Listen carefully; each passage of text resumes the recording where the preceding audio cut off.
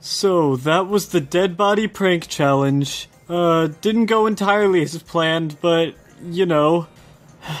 Be sure to subscribe and press that notification bell. Don't expect any vlogs for a while, but I'll try to come up with other stuff to do. Peace out, you've just been grapefruitified!